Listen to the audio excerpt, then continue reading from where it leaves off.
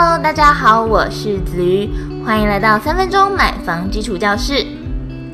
最近政府表态支持买卖房屋采实平制，在市场上掀起了一阵话题。看到这里，也许有些人就开始疑惑：什么？难道平数还有不实的？因此，子瑜未来几个礼拜就要来告诉大家，房屋平数如何计算，权状要怎么看呢？那。我们就来进入今天的主题吧。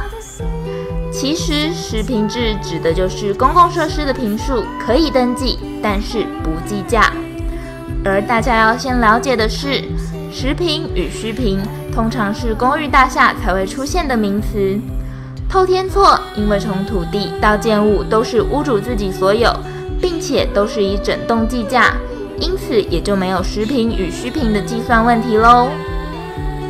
首先，实平指的是只有屋主自己拥有、能够完全支配使用的平数。简单来说，就是平常要拿钥匙打开门进去，而完全只属于自己的私人空间。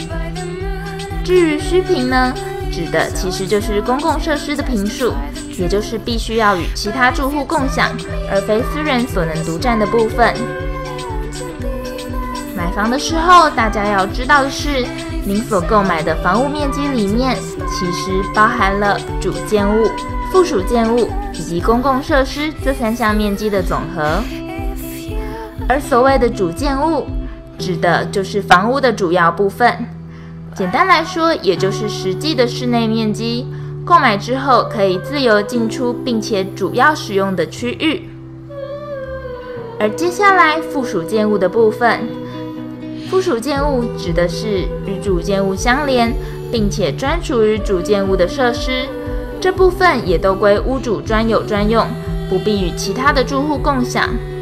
而在这边要提醒大家注意的是，某些部分如果是在屋外，虽然是与主建物相连的附属建物，但这个部分则是属于公共设施的一部分。虽然屋主没有完全的支配权利。但却也是包含在销售的平数当中哦。至于公共设施的部分，公共设施指的是住户共同使用的部分，通常是公寓大厦才有。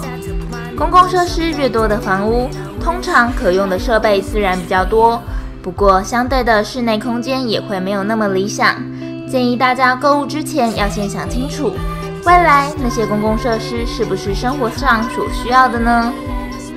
最后快速回顾，买房时候，房屋面积里面包含了主建物、附属建物、公共设施这三者的总和。其中，主建物与附属建物是屋主可以独立支配的部分，就是大家所说的实平；而公共设施则是要与其他住户共用，也就是所谓的虚平。提醒大家，在买房之前一定要弄清楚各部分的面积，了解确实可以支配的面积大小哦。感谢您收看这个礼拜的子瑜三分钟买房基础教室。如果您喜欢这支影片，希望您能按喜欢以及分享订阅。也欢迎您在 FB 上搜寻“红色脂肪”，帮我们的脸书粉丝团按赞，并且在 LINE 搜寻 at readypartners，加入脂肪情报分享会的 LINE 社群。我们下个礼拜二晚上九点再见喽，拜拜。